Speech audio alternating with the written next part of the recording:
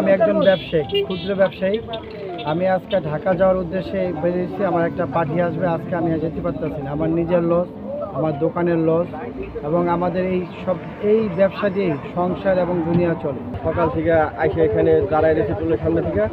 কোনো গাড়ি পাইতেছি না এবং আমাদের খুব সমস্যা হইতেছে। আমরা চাকরি করিয়া যদি করেন মানে যদি চাকরি যদি না যেতে পারি আমাদের তো বেতন কাটা যাবে। কেন? গাড়ি কেন গাড়ি নাই কেন? গাড়ি নাই অনেক কেন না আমরা করতে না আমরা কি হইছে? আপনার এইটা কি? কত আমার দুই বই নেব কোথায় যাবেন? না। মানে এখন কি সমস্যা হয়েছে? গাড়ি বাই না।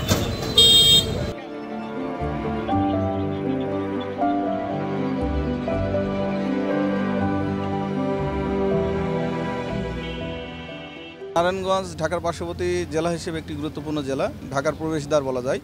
সেই হিসেবে এই সমাবেশকে কেন্দ্র করে সাধারণ মানুষের চলাচল, সাধারণ মানুষের জানমাল, নিরাপত্তা যাতে বিঘ্নিত না হয়, সে ব্যাপারে জেলা পুলিশ নারায়ণগঞ্জ যথাযথ পদক্ষেপ গ্রহণ করেছে। এটি পরিবহন সংক্রান্ত বিষয়। পরিবহনের যারা মালিক, শ্রমিক আছেন, তারা সিদ্ধান্ত নেবে। এখানে প্রশাসন কোনো হস্তক্ষেপ করেনি। যদি কোনো যানবাহন চলতে চায়, মানুষ, সাধারণ মানুষ চলতে চায়, তাহলে প্রশাসনের পক্ষ থেকে সহযোগিতা থাকবে।